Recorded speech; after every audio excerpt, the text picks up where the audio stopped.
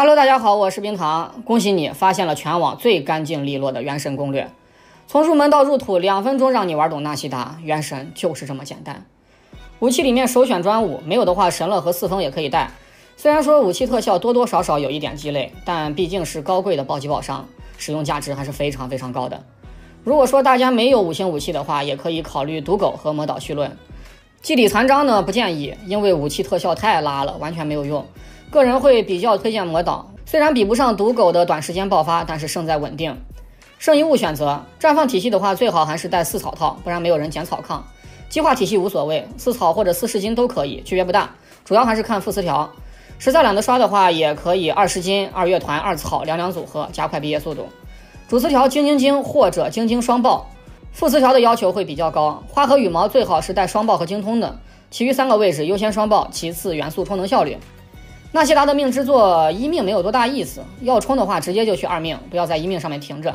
四命看着好像挺强的，但是正常培养下的纳西达面板精通随随便便就到九百左右了，所以这个四命实际上是会溢出的，性价比很低啊，大家就不要强冲了。二命过后直接就去六命。天赋这里的点法，优先 E 技能，其次 Q 技能，毕业天赋一九九即可，普攻不要点，除非是六名玩家啊。皇冠给不给看处理。最后纳西达的配对。目前主要还是服务于绽放和激化体系，尼禄锁死，草神锁死，保护位锁死，剩下一个位置可以补三水一草，也可以补两水两草，都是 OK 的。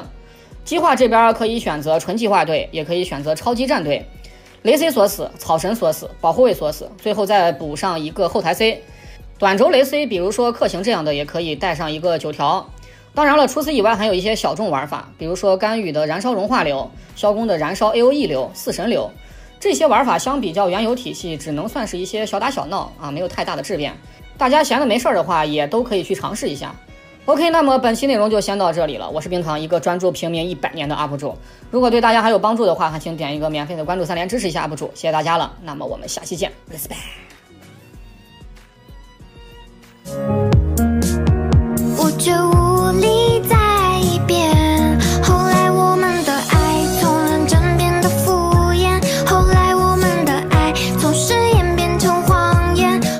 一定关注。